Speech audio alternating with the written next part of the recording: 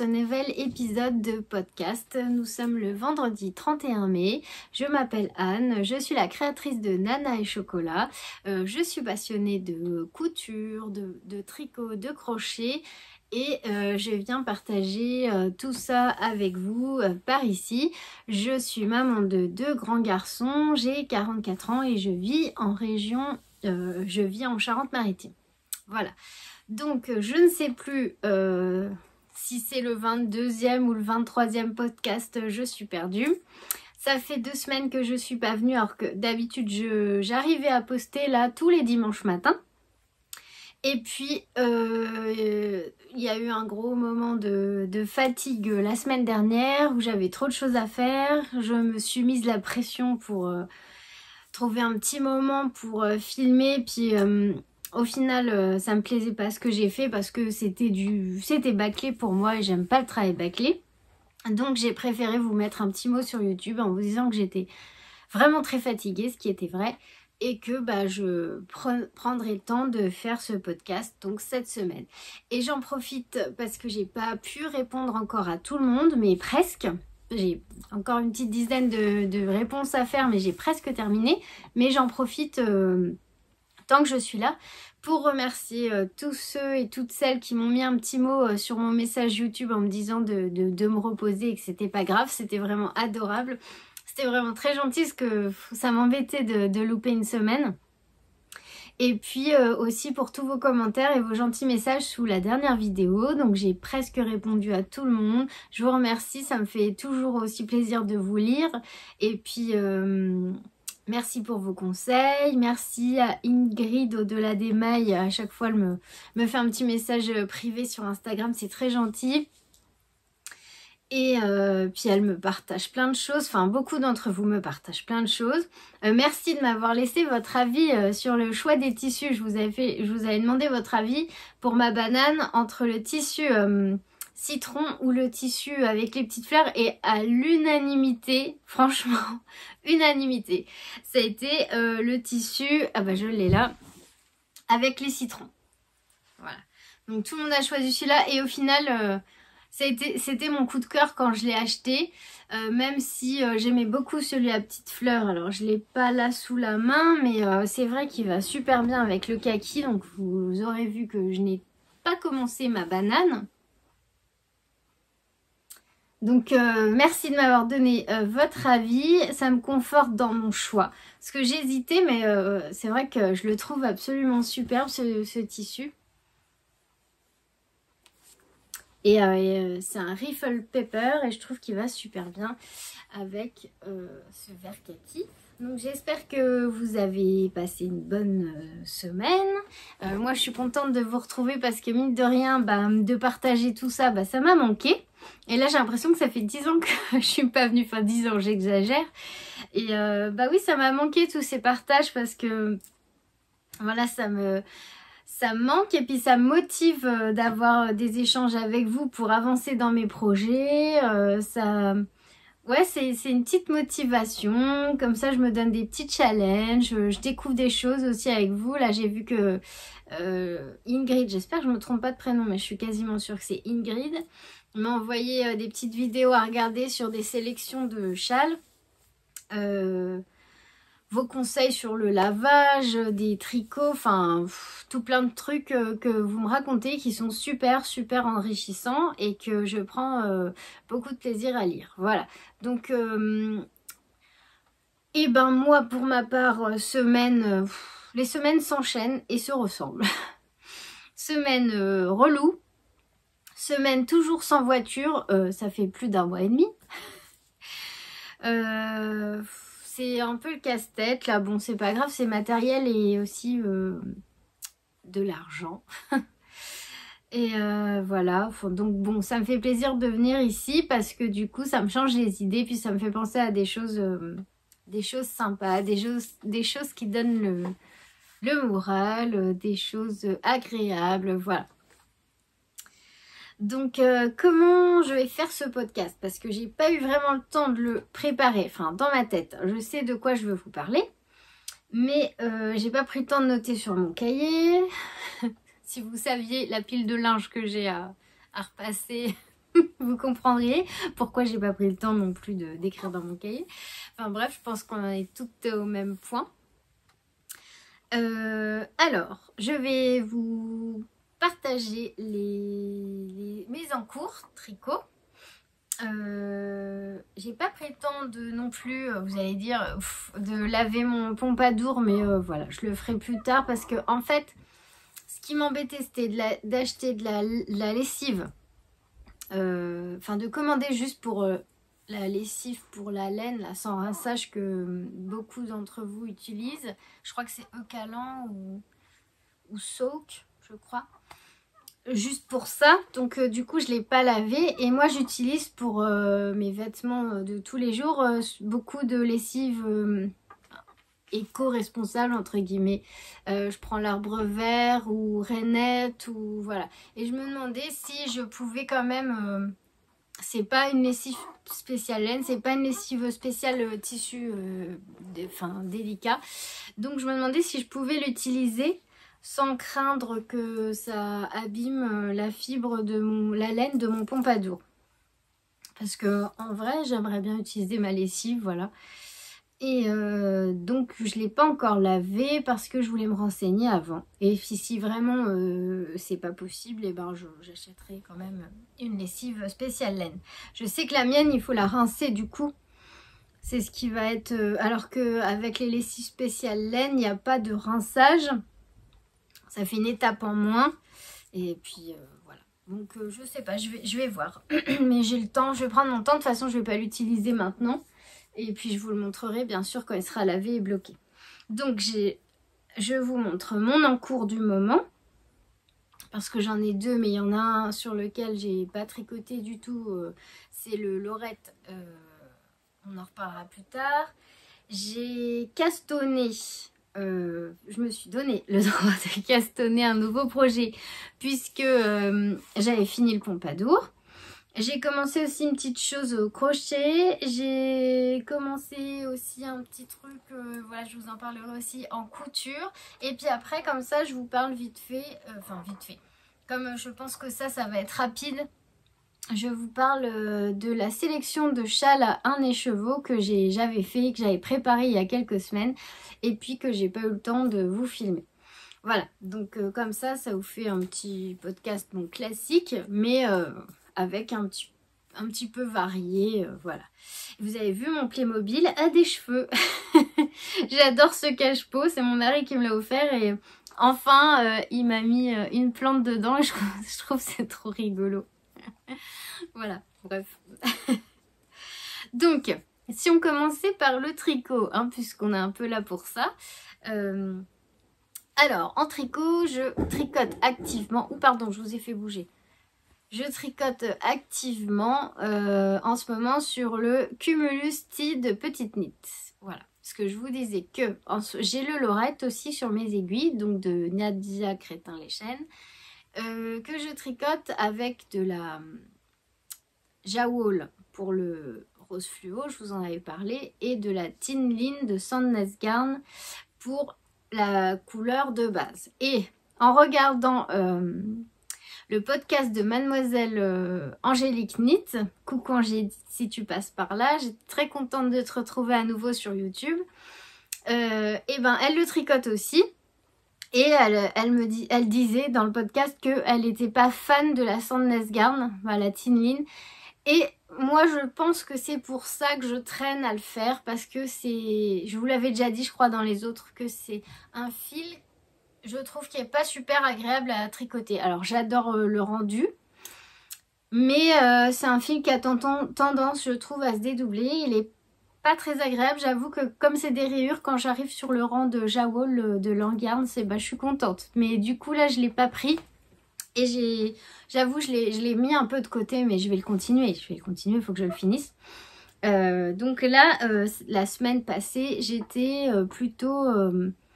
dès que j'avais un petit moment, ce que je tricotais, c'était mon cumulus de petite knit. Je vous montre à quoi il ressemble. Et je le tricote en mini-cale avec ma tante. Alors, le cumulus de petite knit, voilà. C'est un top à col V. Col V manche trois quarts euh, en jersey et les finitions sont en i-cord. Et rendez-vous compte que ma tante a commandé les mêmes écheveaux que moi sur euh, Arco Iris Yarn. C'est la première fois, je crois, qu'elle doit commander autre chose que de la file d'art. Alors, je suis super contente. Elle a, elle a adoré. Elle a bobiné son écheveau. Elle a commencé. On en est au même point. Bon, elle tricote plus vite que moi. Donc, là, j'en suis.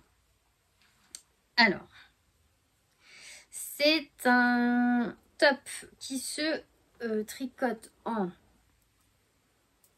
je vais pas dire des bêtises, je, triche parce que je me souviens jamais c'est quoi le numéro des aiguilles et je ne vois rien sur les aiguilles.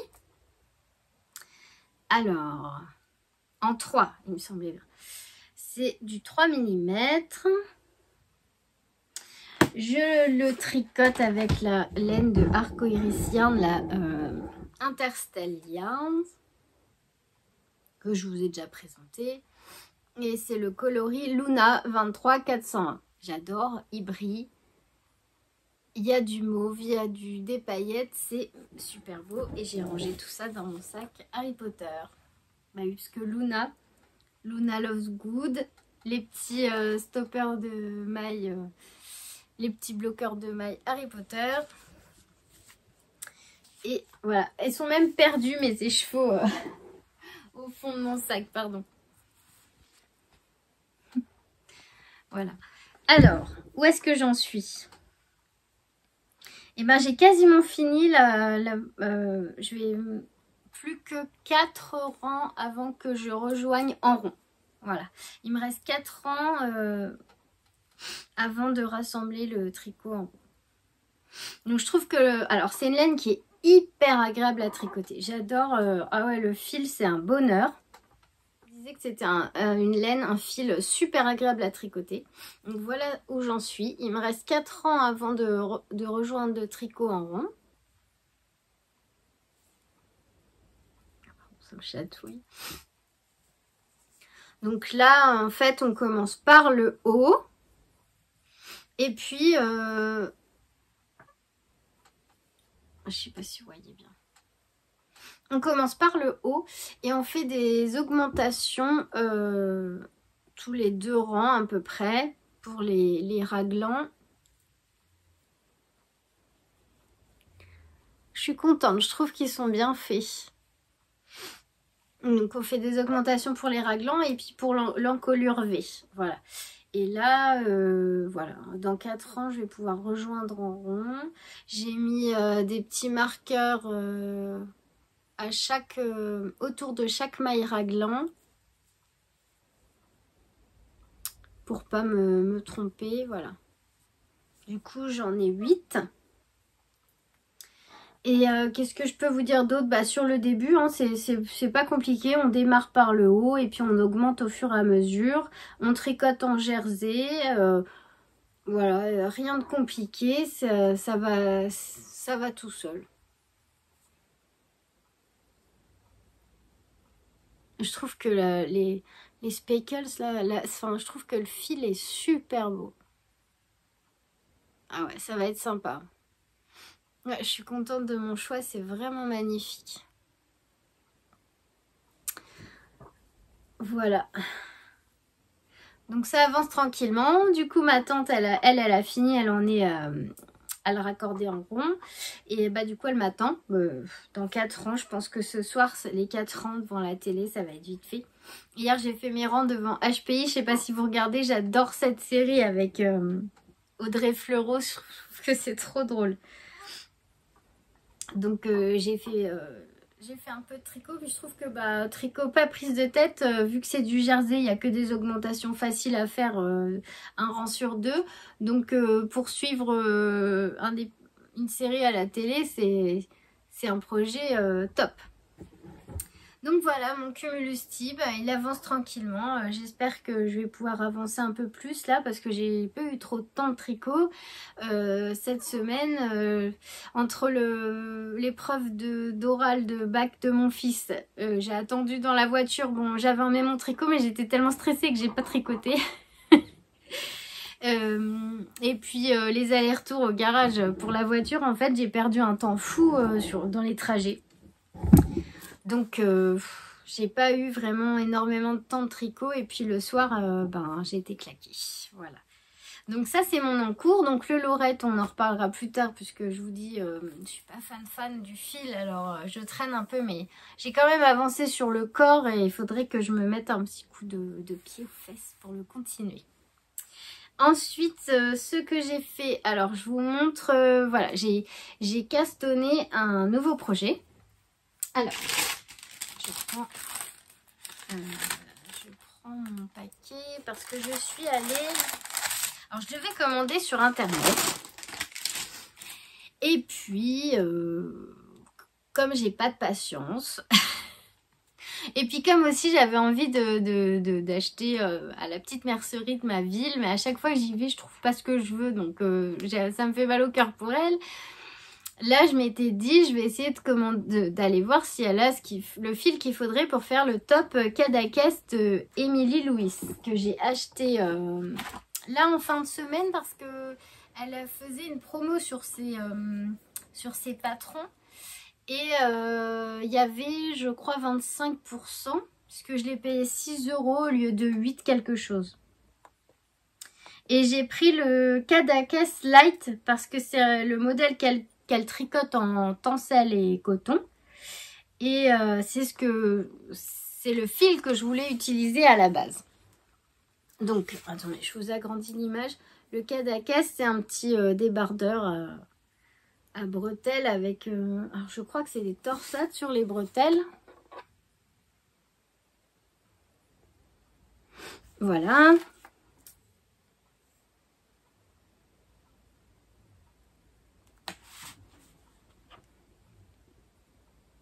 Je trouve que c'est un petit top d'été euh, super sympa. Euh, en plus, j'ai entendu que du bien euh, sur les patrons de Emily Louise parce que c'est la première fois que, que j'achète un de ses patrons. Je sais pas comment elle explique, mais en général, elle est... En général, elle a que des bonnes appréciations. Voilà.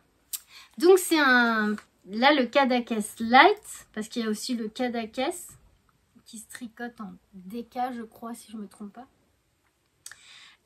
elle l'a tricoté en Katia, euh, tencel et coton, le fil que je voulais acheter à la base.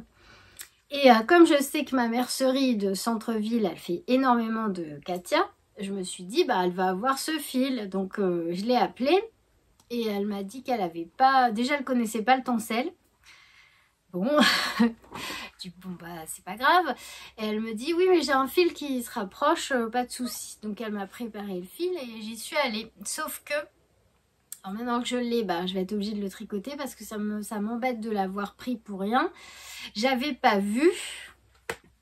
Alors bon, c'est une marque que je connais pas, mais bref, euh, c'est pas grave.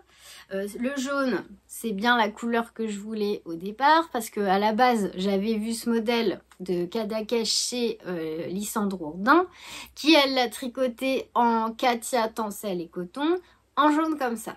Donc moi, je voulais du jaune aussi, parce qu'en plus, j'en ai pas. Et puis, je t'ai dit, cette année, on met de la couleur. Et euh, mais, mais, mais, mais, donc il me fallait 4 pelotes de tencel et coton. Et au final, elle m'a vendu euh, du coton. 100% coton. Elle m'a dit que c'était la même chose, que le tencel, elle savait pas ce que c'était, que c'était le même numéro d'aiguille et que pour des tops d'été, c'était parfait. Bon, c'est pas vraiment ce que je voulais. Euh, puis moi, je voilà, j'ai hésité, puis j'ai dit bon, si elle me dit que c'est pareil. Euh, mais au final, euh, ouais, c'est quand même pas la même chose. Euh. Bon, je les ai prises. Et puis j'ai vu aussi surtout que, que, alors dans les projets terminés, a plus de wifi. Voilà. Excusez-moi. Alors, voilà. J'ai vu dans les prochains terminés que Sophie du Tricomonde de Sophie, elle a fait le Kadakes en test. Elle l'a tricoté. Et elle l'a tricoté, elle, en DMC Natura, juste coton. Donc, je pense que ça équivaut à ça, parce que c'est 100% coton. Et la DMC Natura, c'est aussi 100% coton. Et je trouve que la version de Sophie est aussi extrêmement canon.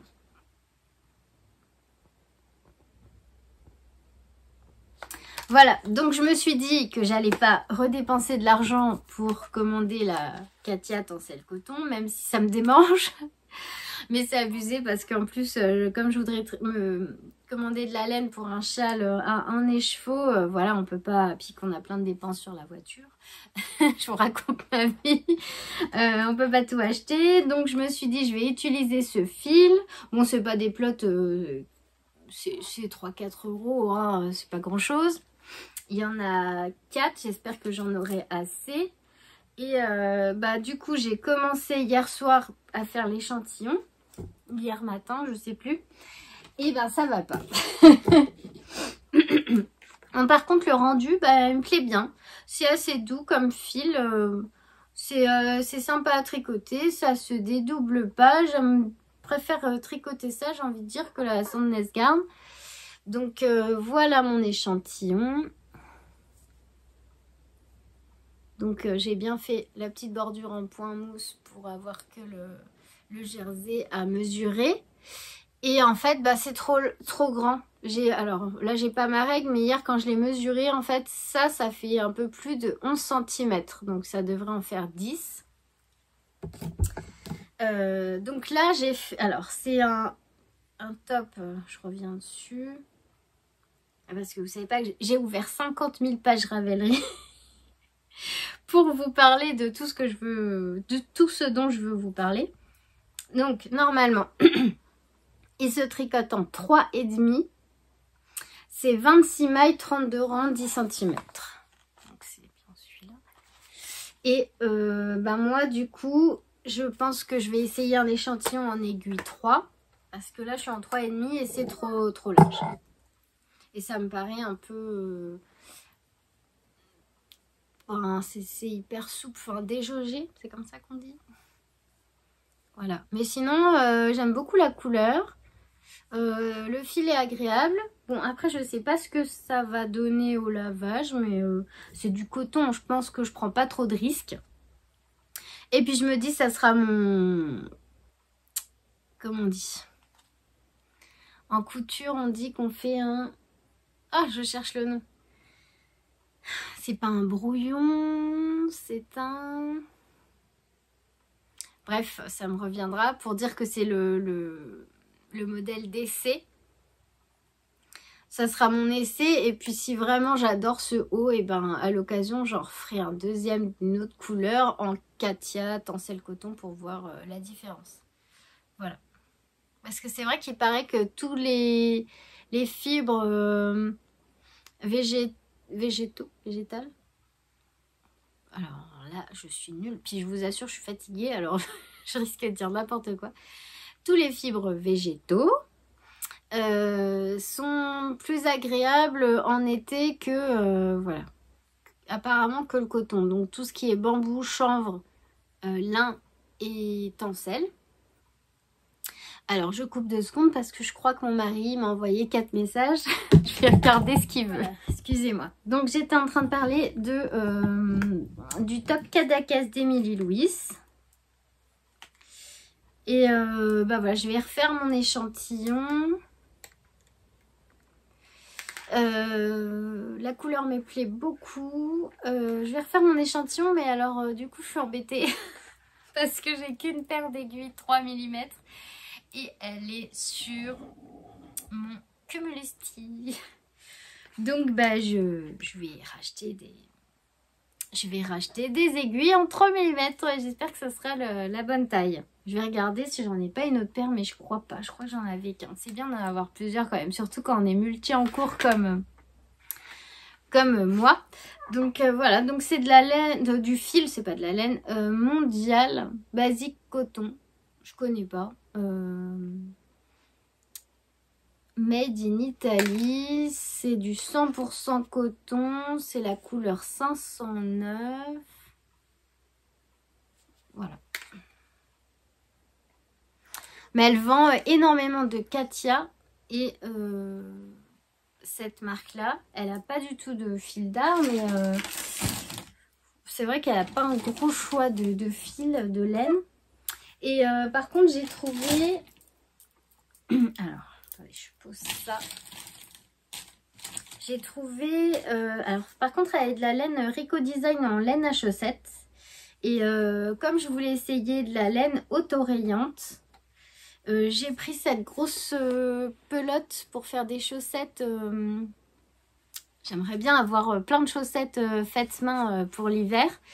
Et donc là, c'est 420 mètres pour 100 grammes. C'est la Rico Design Super Bas Bambou Super Wash. Je ne connais pas, mais elle m'a dit que c'était de la laine à chaussettes. Effectivement, dedans, il y a 25% de polyamide. Donc je crois que c'est ce qu'il faut pour avoir une laine à chaussettes pour pas que les chaussettes s'abîment trop vite. Et puis là, on voit, c'est avec une pelote, normalement on peut faire une paire. Ça fait pas bien focus. Et euh, c'est le coloris. Est-ce que c'est noté ah oui, voilà. 32. Et j'aime bien les couleurs. C'est, euh, Il y a un petit peu de vieux rose, un petit peu de jaune, de vert, enfin c'est tout pastel. Et euh, je voulais essayer de faire le... Bon, pas tout de suite, hein, mais ça je la garde pour faire les chaussettes à la vanille de hum, Céline Madame Bibiche. Comme elle a fait un tuto vidéo sur YouTube, donc c'est chaussettes toutes simples. je vais essayer de trouver un contrastant pour la pointe et le talon qui aille avec euh, peut-être un vieux rose ou un jaune enfin il y a du choix et euh, je, pense que je vais les faire donc en jersey avec euh, cette laine autoriante de chez Rico Design donc ça je l'ai trouvé à ma petite mercerie du centre-ville. D'ailleurs j'étais étonnée qu'elle ait ça. Parce qu'en plus enfin c'est pas pour me moquer. C'est pas pour me moquer hein. mais je vois la différence entre la mercerie de La Rochelle de Pauline, qui est géniale, et euh, là, la mercerie de, de mon centre-ville. Ce que je lui dis, euh, elle me demande le patron donc euh, de mon débardeur pour voir si ça correspondait au niveau de, de la taille d'aiguille. Et je lui dis oui, mais c'est sur Ravelry, donc elle connaissait pas Ravelry. voilà. Mais ça m'a fait rire, mais c'est vrai que...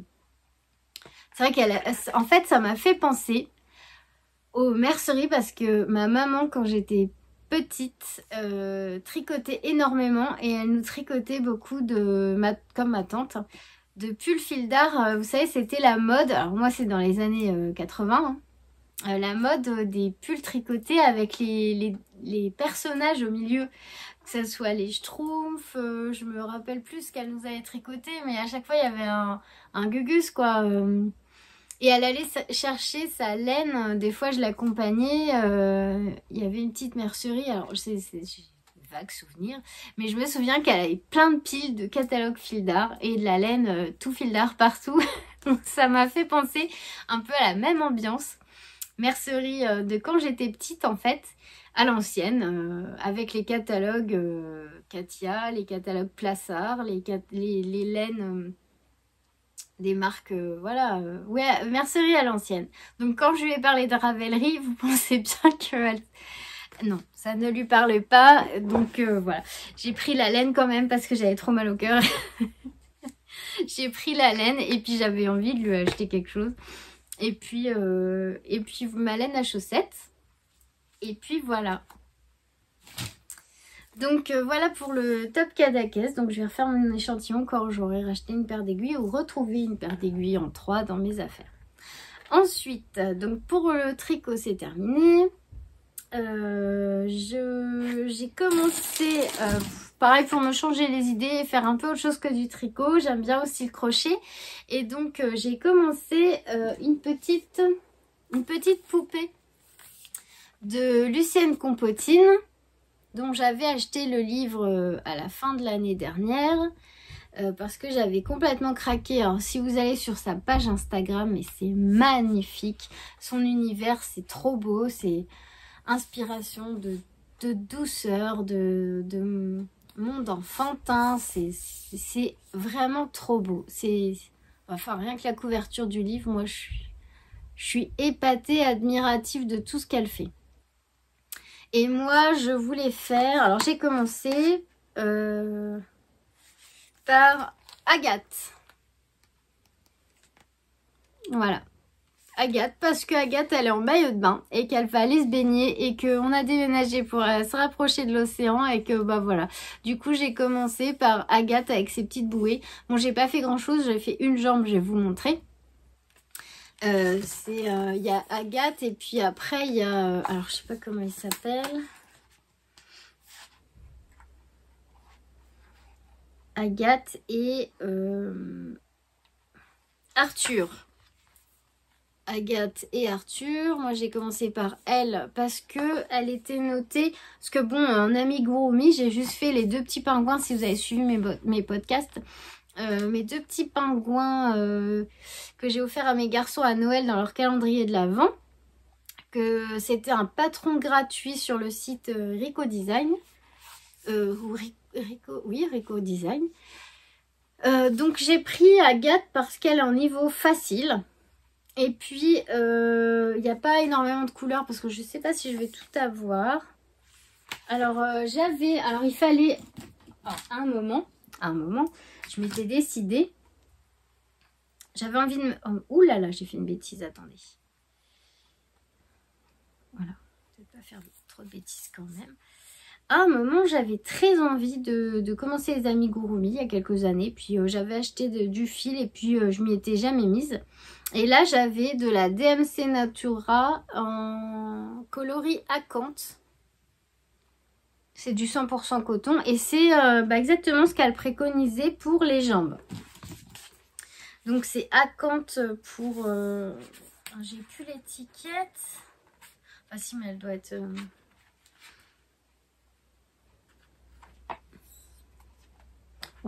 C'est euh, le coton Natura, juste coton. Et c'est le coloris Acanthe. Donc euh, c'est pour les jambes en fait, euh, la tête et les bras. Et après le petit maillot de bain, il est en bleu ciel. Et moi j'avais de la cabotine bleu ciel. voilà, que j'utilise pas. Donc je l'ai utilisé pour commencer le petit maillot de bain. Donc en fait, voilà, la petite jambe. Donc c'est pas évident. là ça ressemble pas à grand chose. Hein. Là c'est le petit pied. Et là la petite jambe. Et là c'est le début donc du, maillot de bain. Ah, alors, ensuite là on va je vais j'ai commencé euh, la deuxième jambe. J'ai pas fait grand chose. Hein. J'en suis là. On fait la deuxième jambe avec le, les 3-4 rangs de bleu et après on vient assembler les deux pour faire le maillot de bain. Et euh, en fait, euh, ce que je trouvais compliqué, c'était de crocheter en circulaire sur 10 mailles. C'est vraiment tout petit. Euh, c'est tout étroit et en plus il faut rembourrer la jambe au fur et à mesure bah, qu'on crochette. Donc, mais voilà, je pense qu'elle est pas trop trop mal. Et en fait, euh, ce qui est embêtant aussi, c'est que du coup, sur 10 mailles, euh, la première maille, il y a un anneau marqueur, puisque, bah, comme là,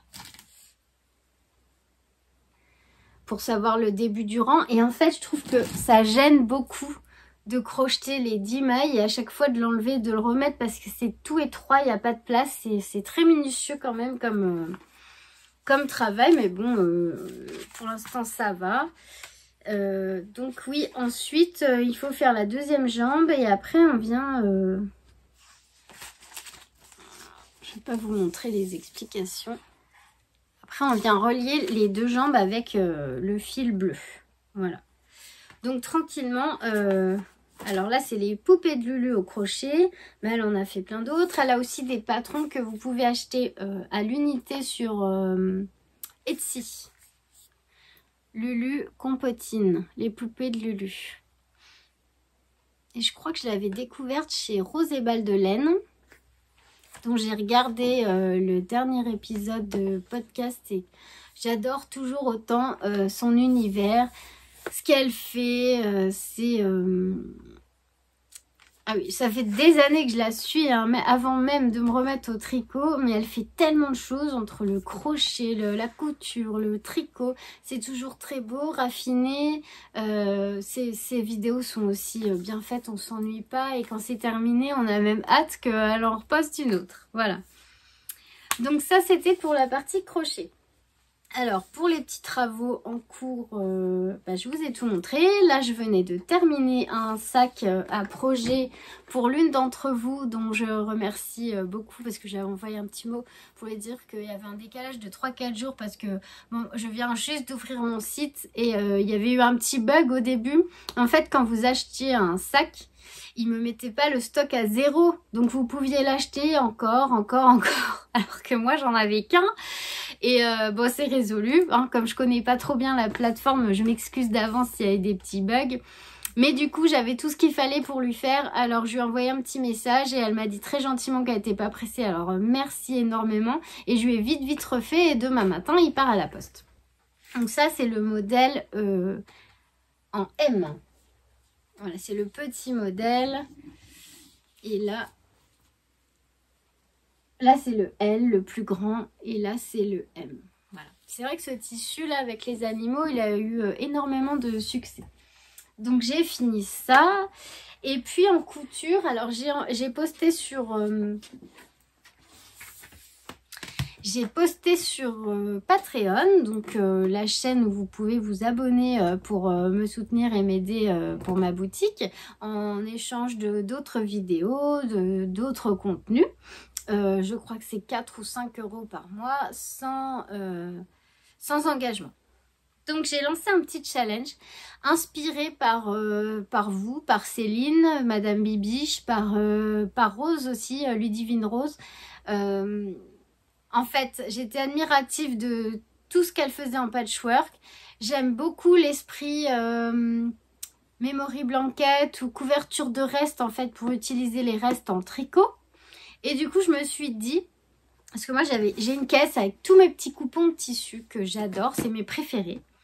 Euh, que j'aimerais garder mais que j'ai pas envie de voir euh, dormir au fond d'une caisse et je me suis dit bah moi aussi je vais faire une couverture de reste mais avec mes chutes de tissu favorites donc je me suis mis toutes mes chutes dans une caisse en plastique et euh, j'ai coupé des petits carrés de, 10 par 10 si je me souviens bien. Mais ça, je l'explique du coup dans, le, dans la vidéo Patreon parce que du coup, j'ai lancé un challenge patchwork nana et chocolat.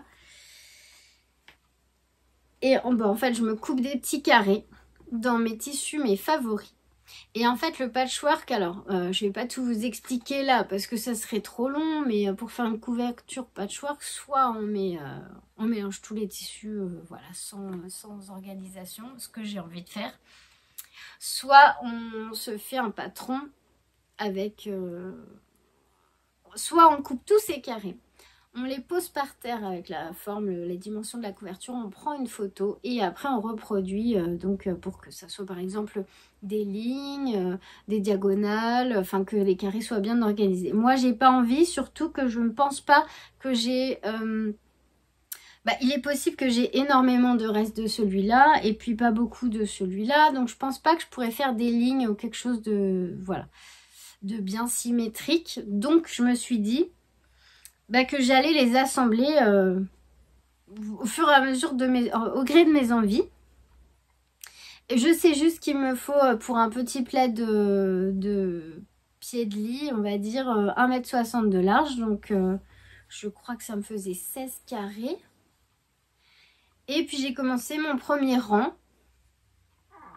Et puis je vais venir comme ça de temps en temps quand j'ai envie je disais, pardon, je crois que j'ai presque plus de batterie. Que voilà, j'avais assemblé mes petits tissus ben, euh, au fur et à mesure de mes envies et puis que je fais ça de temps en temps. Euh, pour changer du tricot, du crochet et j'aime beaucoup. J'aime beaucoup voir euh, les carrés les uns à côté des autres et voir ce que ça donne. Alors je vais quand même m'arranger pour par exemple que là il n'y ait pas deux Peter Pan l'un au-dessus de l'autre ou là qu'il n'y ait pas deux Alice au pays des merveilles. Donc voilà par exemple, soit je le mets en décalé ou alors je le mets carrément ailleurs. Voilà. Mais j'ai vraiment tout un tas de, petites chutes que j'affectionne beaucoup, des tissus que dont j'avais eu vraiment un gros coup de cœur et que j'ai pas envie de voir euh, dormir au fond d'une caisse, que j'ai envie d'utiliser, mais c'est compliqué d'utiliser plein de petits morceaux différents. Donc euh, c'est euh, en voyant ce que vous faites, ben, vous m'avez inspiré et je me suis dit, ben, je vais faire ça, puis on verra bien ce que ça donne. Et donc le challenge, c'est que tout le monde utilise ces, ces restes et propose un projet terminé en patchwork avec ces petits morceaux de tissu euh, favoris qui traînent au fond d'une caisse et qu'on n'a pas envie de jeter et qu'on a envie d'utiliser. Donc euh, il n'y a pas de, limite de temps. Peut-être qu'à la fin du défi, euh, je, ferai un tirage au sort, je sais pas. Ou j'en choisirai un, je, vais voir pour que ça soit pour organiser quelque chose de sympa. Mais si vous avez du tissu, que vous avez envie de nous suivre, enfin de me suivre et de suivre euh, celles qui vont coudre du patchwork, n'hésitez pas, vous pouvez aller sur Patreon, peut-être je partagerai un peu ici aussi. Vous pouvez partager sur Instagram avec le hashtag euh, défi patchwork euh, nana et chocolat. Voilà pour la couture. Ensuite, eh ben, je vous propose de passer au, au comment? Au patron de châle un écheveau que j'ai euh, repéré pour vous sur Ravelry. Donc euh, j'ai cherché ce qui me plairait et euh, ce qui était possible de faire avec un seul écheveau. Alors j'avais tout noté.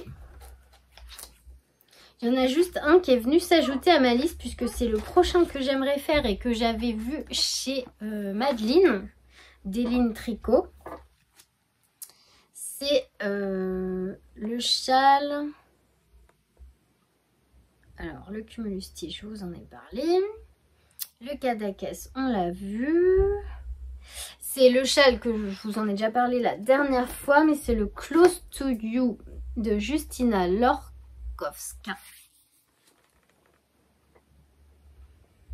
Et euh, celui-là, c'est celui que j'aimerais me faire avec un écheveau, euh, soit de Inès Green, soit de Charlie Popette. Mais j'ai vu que Charlie Popette, alors elle s'est fait dévaliser. Et elle a plus beaucoup de choix. J'aimais bien le coloris Mermaid euh, que j'ai vu chez, chez Lauriane L'eau demoiselle. C'est un, c'est un écheveau de laine à speckle dans les tons bleus bleu, bleu turquoise et il était super beau. Donc pour l'instant elle l'a plus donc je vais, réfléchir. Mais donc euh, celui-là, euh, le Close to You, c'est un châle qui nécessite 382 mètres de fil et qui est ajustable donc vous pouvez l'agrandir. Qui est gratuit sur Ravelry.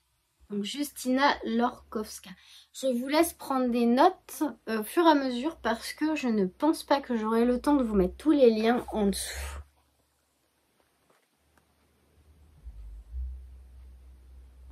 j'essaye de vous les laisser un petit peu longtemps. Bah, je vais vous expliquer pourquoi. C'est qu'on est vendredi. Je veux poster la vidéo euh, dimanche pour dimanche matin, comme d'habitude. Et en fait, d'habitude, le samedi après-midi, j'ai tout mon temps. Enfin, c'est mon samedi. Euh, enfin, je prends du temps pour faire ce que j'ai envie. Et en même temps, je monte la vidéo et je, la prépare pour le dimanche. Sauf que demain...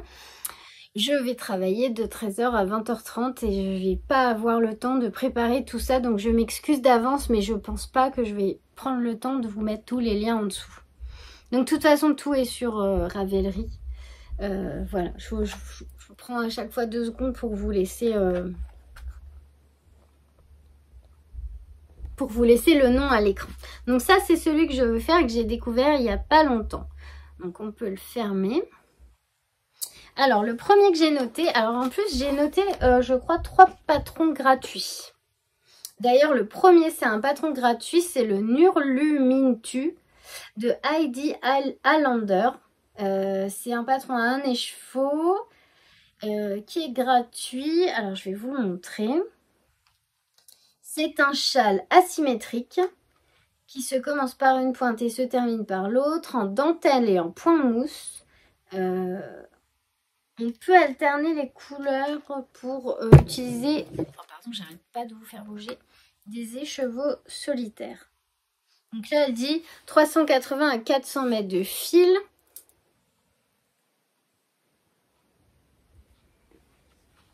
Voilà, donc c'est point mousse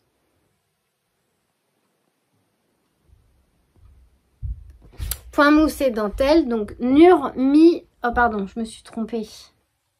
Je me suis trompée en l'écrivant, c'est pour ça que je ne le trouvais pas tout à l'heure en le cherchant sur Ravelry. Nur Mi Lintu. Oh là là. Voilà. Mais euh, logiquement, tous ces patrons-là, je les ai mis en favoris, euh, dans mes favoris euh, sur Ravelry dans la catégorie accessoires. Donc c'est Heidi Allender. Et j'aime beaucoup sa version en clair.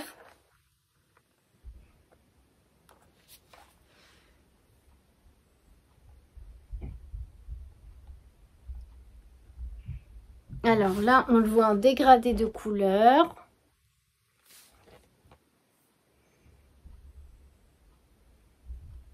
Et là, on voit bien déplié. Donc je trouve qu'il est sympa.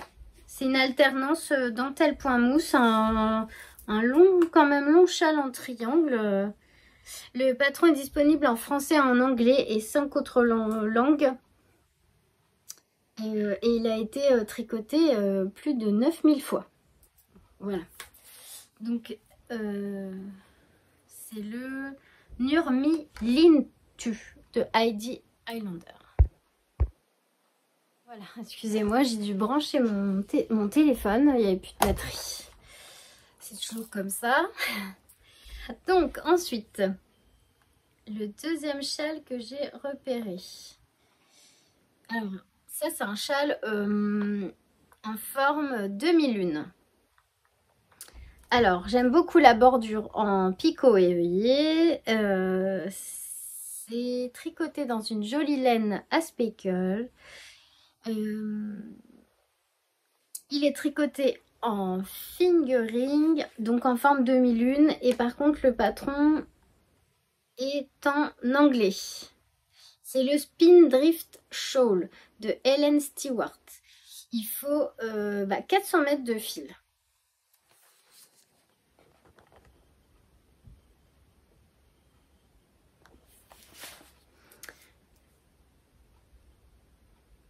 Il est trop joli. Moi, j'aime beaucoup la bordure euh, picot et puis... Euh, et œillet. C'est les petits trous-trous là sur le bord. Je le trouve super beau. Il a été euh, tricoté 3249 fois. Ah ouais, il est, chouette. Hein.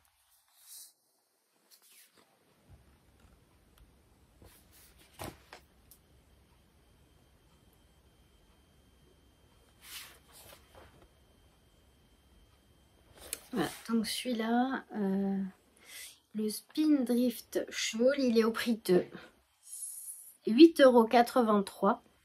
Euh, donc sur Ravelry et c'est Helen Stewart. Je vous montre un coup le nom. Mais je l'ai mis dans mes favoris aussi. Ensuite, euh, on continue avec un patron de châle. Alors, est-ce qu'on le voit en entier?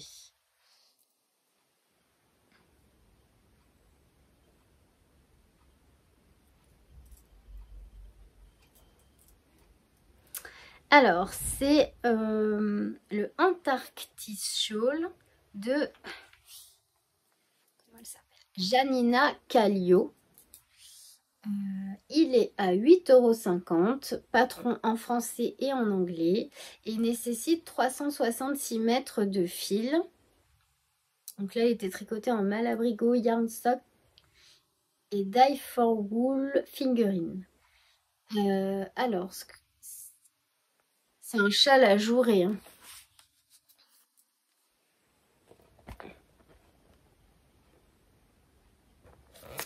Est-ce qu'on le voit déplier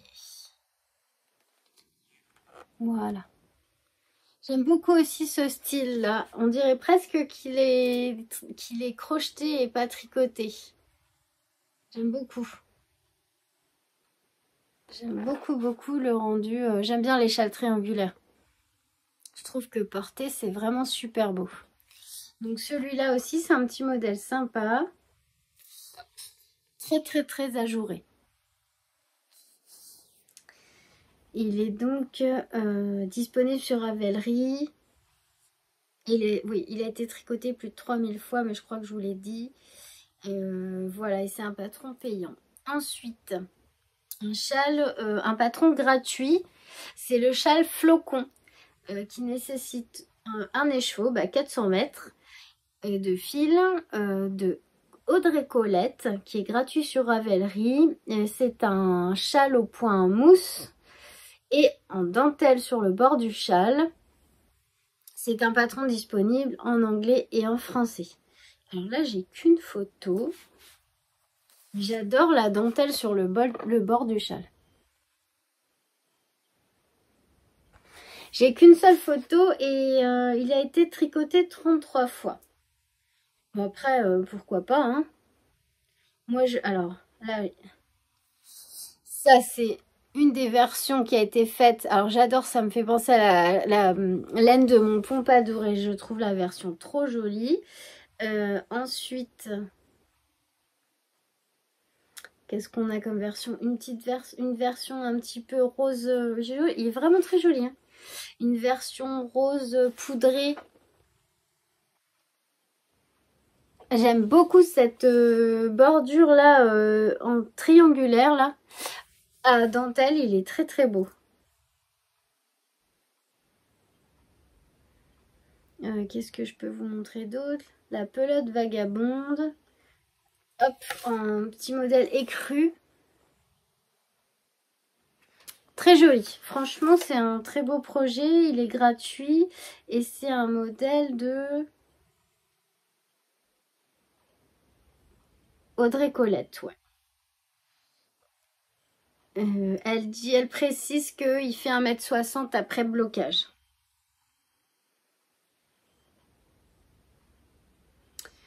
Voilà.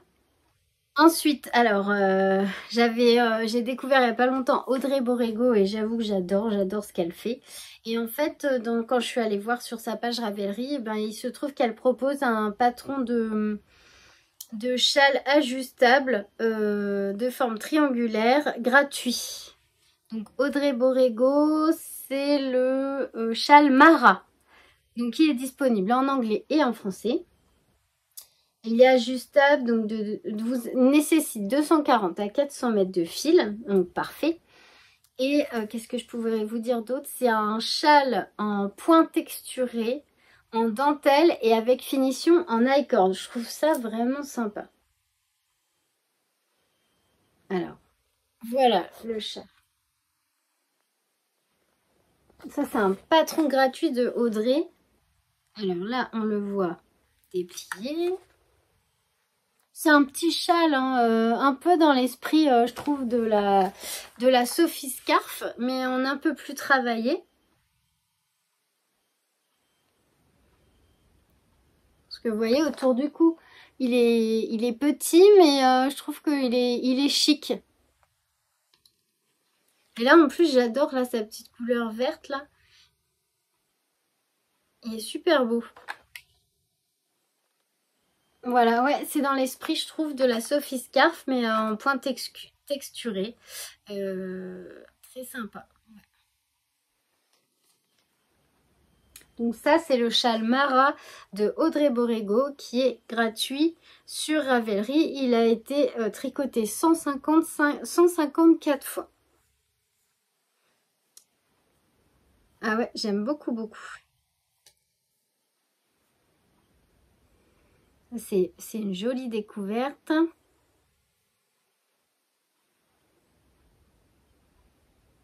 Là, par exemple, on le voit en taupe. Ouais, non, c'est un super petit patron. Celui-là aussi, je l'ai mis de côté. Et pour euh, ma dernière euh, sélection, un châle que j'ai beaucoup aimé aussi. C'est le châle Memento de Jackie Verbergs qui est au prix de 9,27€ sur Ravelry. Alors, c'est un châle en forme de croissant. Moi, je, enfin, demi-lune. Moi, je préfère les châles triangulaires, mais euh, j'aime bien aussi. Euh, donc, il alterne point mousse et dentelle. Et euh, il se tricote avec un seul écheveau puisqu'il faut 400 mètres de fil. Et par contre, le patron est en anglais. Je vous montre. Je le trouve trop beau.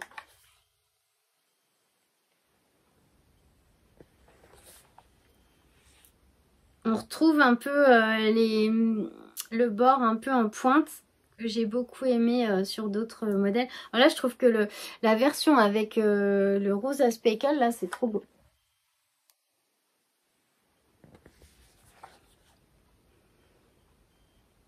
Hop. Là, on le voit porter. Et puis là, on le voit complètement déplié.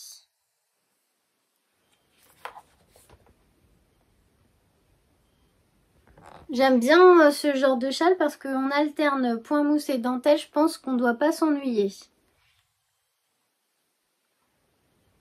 Donc voilà, bah, j'ai mis euh, toutes ces versions euh, dans mon Ravelry.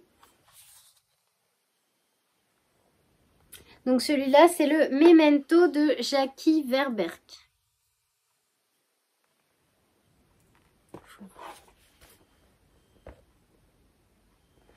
Voilà.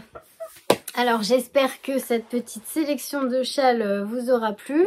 J'espère que j'ai donné assez de détails. Je voulais pas non plus que ça fasse trop, euh, lourd, on va dire, euh, dans la vidéo.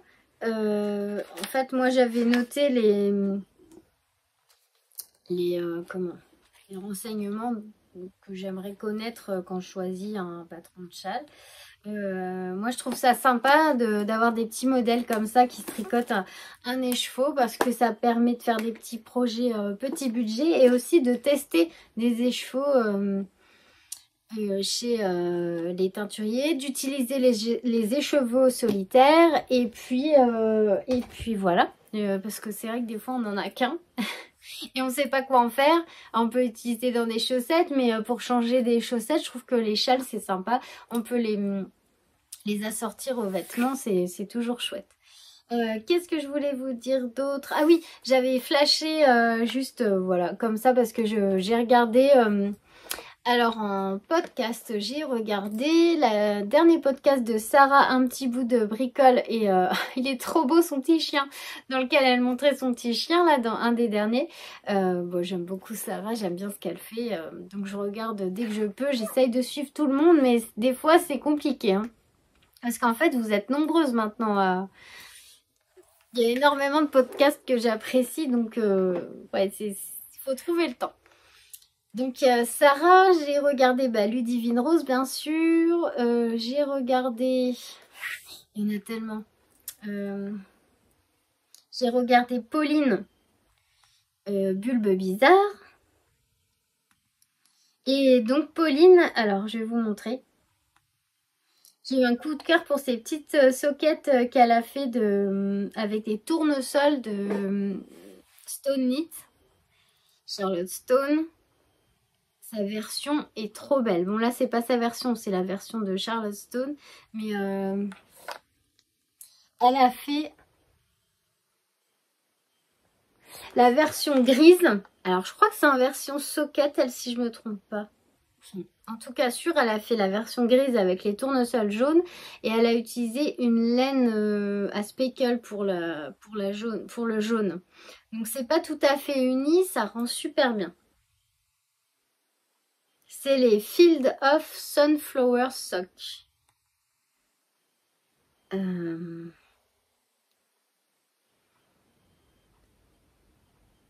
J'ai regardé aussi, ah oui, j'ai découvert parce que, euh, en fait, c'est Sarah, un petit bout de, bricole, qui en parlait euh, sur son, dans son podcast. Et grâce à elle, j'ai découvert Fille de nuages. J'ai bien aimé ses podcasts et j'aime bien ce qu'elle fait aussi. Donc, euh, c'était une, jolie découverte. Et évidemment, j'ai regardé aussi le podcast tricot numéro 13 de Mademoiselle Angélique Nitz. Voilà. Et ben, je vous laisse... sur ce, je vous laisse. Euh, j'espère avoir bien avancé mon Cumulus Tea pour la semaine prochaine. Je vais essayer de trouver des aiguilles euh, numéro 3 pour faire euh, mon échantillon pour le Kadakes Light. histoire de, le castonner parce que j'ai trop envie de le castonner. Et j'espère que j'aurai avancé ma petite Agathe, ma petite poupée au crochet. Voilà, je vous fais plein d'énormes bisous. J'espère que vous avez quand même aimé ce podcast, même s'il était un peu décousu et que j'ai eu l'impression de vous dire plein de choses comme ça, euh, sans queue ni tête, mais bon. Euh, moi j'ai passé un bon moment avec vous, ça m'a fait très plaisir de revenir, ça m'a redonné le sourire parce qu'aujourd'hui euh, c'était pas le cas, j'étais blasée on va dire. voilà, et puis merci encore pour tous vos petits messages. Là je vais prendre le temps de répondre aux derniers commentaires et de vous faire des bisous parce que franchement vous êtes tous adorables. Et merci pour toutes vos commandes sur mon nouveau site. Donc la boutique c'est nanaetchocolat.bigcartel.com. Euh, il reste quelques sacs à projet je crois en taille L et là je suis déjà en, train d'en faire d'autres. Celui-là part demain et j'en ai un autre qui part demain. Merci, un grand merci énorme pour vos commandes, pour me faire confiance et en plus à chaque fois euh, bah, vous m'envoyez un petit mot pour me dire que mon travail euh, vous plaît beaucoup. Alors ça, c'est le plus beau des cadeaux parce que moi qui manque de confiance en moi, j'ai toujours peur que ça soit pas assez parfait. Et puis je vous remercie de, me donner confiance en moi. Merci beaucoup. Je vous souhaite une très belle semaine, un bon week-end et à la semaine prochaine. Plein de bisous.